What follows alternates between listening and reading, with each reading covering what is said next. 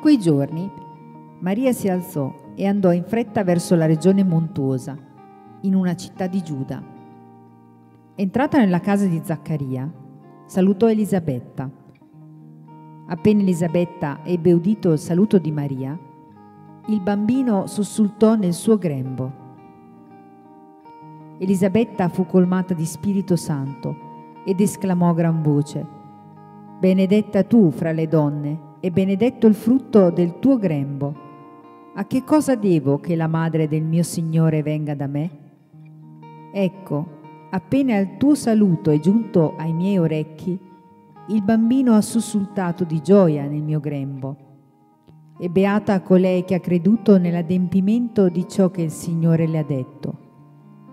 Allora Maria disse, L'anima mia magnifica il Signore e il mio spirito esulta in Dio, mio Salvatore, perché ha guardato l'umiltà della sua serva. D'ora in poi tutte le generazioni mi chiameranno beata.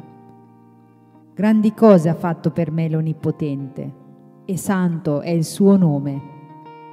Di generazione in generazione la sua misericordia per quelli che lo temono.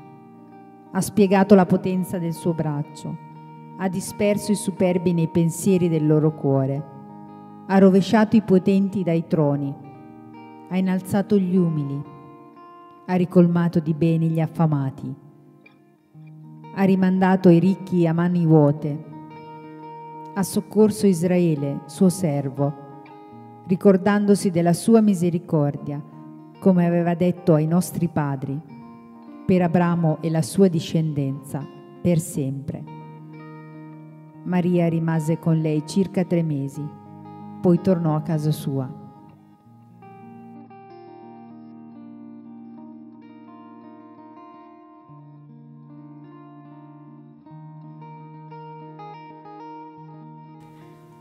Maria si alzò e andò in fretta Spesso, Signore Gesù, schiacciato dal mio peccato, dalla presunzione di vincerlo da solo, dalla poca fede che tu possa cancellarlo, cosa che in concreto hai già fatto, mi impedisce di alzarmi e anche di aver fretta, quella di amare, di fare il bene senza indugio. Donami la fede di colei che ha creduto, una fede che va oltre l'immediato della mia pochezza. Ti ringrazio per averci dato una donna così grande. Grazie Signore, grazie Maria per il tuo piccolo grande sì. Il bambino sussultò nel suo grembo, letteralmente saltellò, quasi volesse uscire dal ventre materno. L'incontro con Gesù non può lasciarci inermi, statici, fisicamente e spiritualmente. Ti chiedo Gesù per intercessione di tua madre e mia, colei che subito si è alzata in fretta e partita, e di Giovanni, già scalpitante per te al sesto mese di vita, la fede che sposta le montagne, ma ancor prima i cuori. Il mio a volte mi sembra di pietra, è pesante, rigido, bloccato. Benedetta tu fra le donne e benedetto il frutto del tuo grembo. Insegnami, Elisabetta, a dir bene di Dio Figlio, di Dio Spirito e di Dio Padre. Quanta fatica a lasciarmi abbracciare da qualcuno che evidentemente continua a considerare un giudice e dei fratelli che ogni giorno mi ricordano, dovrebbero, che tutto comincia dal parlare bene degli altri, primo passo per iniziare ad amarli davvero.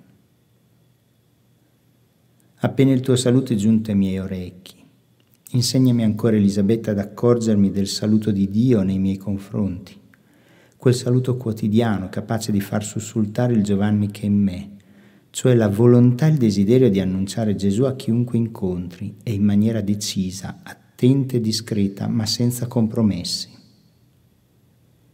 Beata colei che ha creduto. Maria, sei grande perché hai creduto, ti sei fidata, così giovane, era così assurdo, strano, difficile, hai creduto, brava. Sei beata, mia madre nella fede in risposta ad Eva che non credette alle parole del Creatore. Ti chiedo il dono della fede, quella capace di vedere il bene e la salvezza, già attuata anche per me, oltre il mio peccato, nonostante il mio peccato, forse proprio in virtù del mio peccato. Donami la gioia di essere salvato, proprio in quanto peccatore. Ti voglio bene Maria. Aiutami a volertene di più. Ti voglio bene Gesù. Aiutami a volertene quanto Maria.